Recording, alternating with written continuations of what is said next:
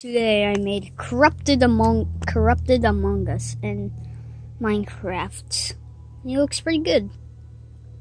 So this is the corrupted part right here. All that that purple and the black, and here's the normal part where it's red.